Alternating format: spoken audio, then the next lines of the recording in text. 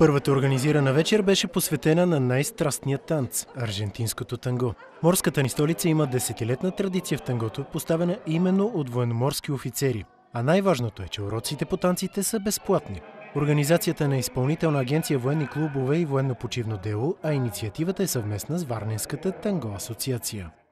Тази страховатна инициатива е насочена към българските военнослужащи от Варненския гарнизон, техните съпруги, приятели и се осъществява благодарение на Варненската танго асоциация, за която ние от Военноморски Коварна изразяваме своята благодарност, че се отзваха на нашата покана да започнем една серия от безплатни уроци по най-страстния танц танго Аржентино. Предстоят нови вечери, посветени на танца в концертната зала на Военноморски клуб Варна.